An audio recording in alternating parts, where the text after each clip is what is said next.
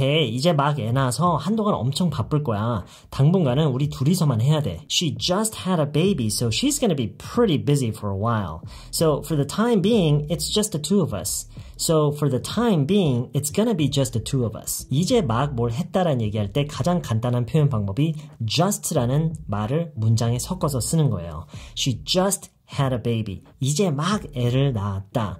Have a baby가요, 두 가지 의미로 쓸 수가 있어요. 아이를 갖고 있는 거, have a baby, have a child, have a son, have a daughter. 이거 말고도 아이를 낳다라는 하나의 동사로 쓸 수가 있는데요. 이 의미를 그러면 사람들이 헷갈려 하지 않느냐, 무슨 의미로 쓰는 건지 어떻게 아느냐, 이거 걱정 안 하셔도 돼요. 정확한 의미나 그 구분하는 거는 문맥에서 얼마든지 가능하기 때문에 여러분 이건 걱정 안 하셔도 되고요. 아이를 낳는다라는 얘기를 할 때 가장 자연스럽게 쓸 수 있는 말이 이 have a baby예요. deliver, give birth 이 표현들은요 출산하다라는 말에 더 가까운데 심지어 그렇게 생각을 했을 때도요 우리 말에서 우리가 출산하다라는 말을 하는 것만큼 그들은 그렇게 많이 쓰진 않아요. 그래서 아이를 낳다 그냥 have a baby 이렇게 얘기를 하시면 돼요. She just had a baby. 방금 이제 막 애를 낳았어. So she's gonna be pretty busy for a while. 한동안 for a while. 한동안 어떨 거다. So for the time being 그래서 당분간은 당분간은이라는 말은 그 상황에 따라서 너무나도 다양하게 쓰이기 때문에 다양한 의미를 가질 수가 있어요. 고로 영어에서도 이 당분간은을 표현하는 그 방법도 여러 가지가 있고요. 뭐 in the meantime, meanwhile, for the time being 이렇게 좀 다양하게 쓰이는데요. 제가 늘 하는 얘기지만 여러분이 이 표현들만 비슷한 말들만 나란히 놓고 그 차이를 이해하려고 하시면 안 돼요. 상황과 예문을 함께 여러분이 익히시는 거예요. 그냥 아 이 상황에서 이 문맥에서는 이거 이렇게 그냥 세트로 여러분이 외우셔야 되지 이런 비슷한 말들 사이에 어떤 절대적인 차이가 있어서 그거를 바로 여기서 우리가 구분 지어야 된다라는 그런 규칙이 있는 게 아니라 그걸 우리가 어떻게 활용을 하느냐 활용의 차이가 있는 거지 그것에 어떤 절대적인 의미의 차이가 있는 게 아니에요. So for the time being 그래서 당분간은 우리 둘이서만 해야 돼. 뭘 해야 된다는 얘기일까요? 상관없이 쓸 수 있는 표현이 It's just the two of us. So for the time being, it's just the two of us. 이거를 미래 시제를 섞어서 얘기해도 되고요. So for the time being, it's gonna be just the two of us 또는 it's just gonna be the two of us. 전체적으로 천천히 한번 빠르게 한번 들어보고요. 그 다음에 따라해 볼게요. She just had a baby, so she's gonna be pretty busy for a while.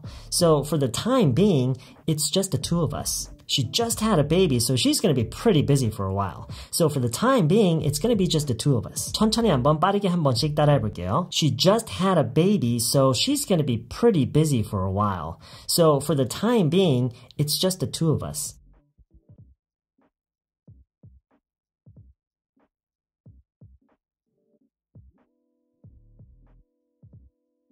She just had a baby, so she's going to be pretty busy for a while. So for the time being, it's just the two of us.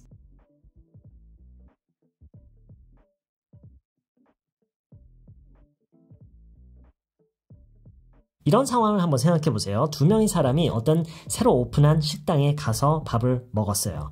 어, 그 중에 한 명이 그 식당에 대해서 뭔가 불만이 있어요. 이것저것 뭔가 완벽하게 갖춰지지 않고 어, 뭔가 매끄럽게 서비스가 다 이루어지지 않고 이래서요. 그래서 그 다른 한 사람이 이런 식으로 얘기를 해요. 야 너무 그러지 마. 이제 막 오픈한 것 같은데 한동안은 좀 어수선하겠지.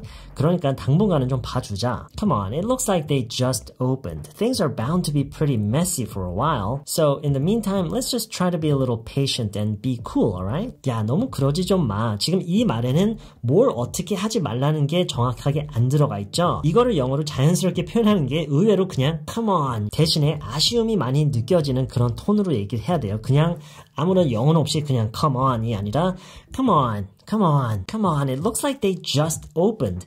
막 오픈한 것처럼 보이는데 라고 해석이 되지만 이걸 자연스럽게 해석하면은 이제 막 오픈한 것 같은데죠. Come on, it looks like they just opened. 한동안 좀 어수선하겠지. 이 하겠지에서 뭐가 느껴지세요? 어떤 일반적으로 예상이 되는 그런 부분에 대해서 얘기를 할 때 이런 식으로 얘기를 하잖아요. 그렇죠? 그래서 여기서는 things are bound to be bound to라는 표현을 쓴 건데요. 이게 뭐랑 의미가 굉장히 비슷하냐면 tend to do something 이라는 말과 굉장히 비슷해요. tend to. 무엇을 하는 경향이 있다, 무엇을 하는 편이다. 이런 어, 의미로 쓰는 표현인데요. tend to. Uh, something is bound to happen. 어떤 일이 uh, bound to do something이라고 하면은요, be bound to.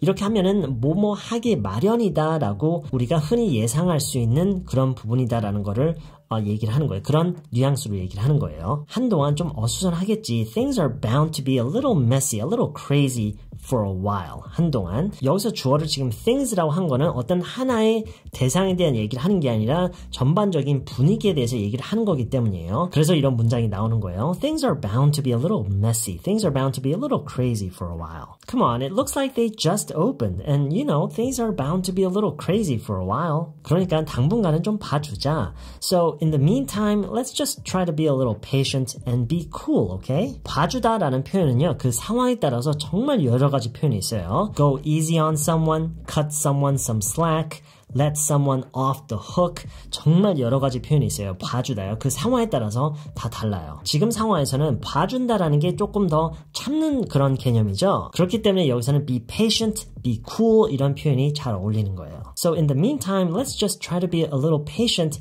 and be cool, alright? Come on, it looks like they just opened. And you know, things are bound to be a little messy for a while. So in the meantime, let's just try to be a little patient and be cool, okay? 일단 한 문장씩 따라서 읽어보고요. 그 다음에 전체를 이어서 따라해 볼게요. Come on, it looks like they just opened. Things are bound to be a little messy for a while. So in the meantime, let's just try to be a little patient and be cool, okay?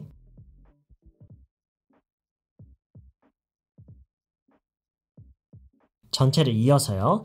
Come on, it looks like they just opened and, you know, things are bound to be a little crazy for a while. So in the meantime, let's just try to be a little patient and be cool, okay?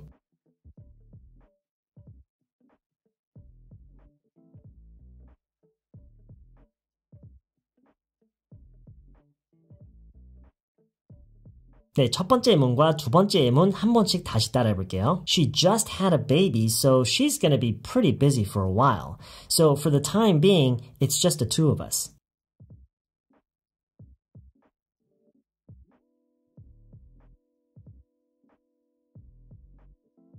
Come on, it looks like they just opened.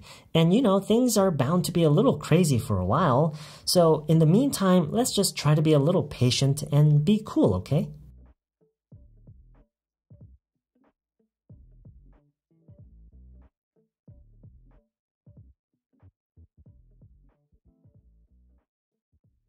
네, 이번 영상은 여기까지고요. 저는 Part 2에서 다시 뵐게요.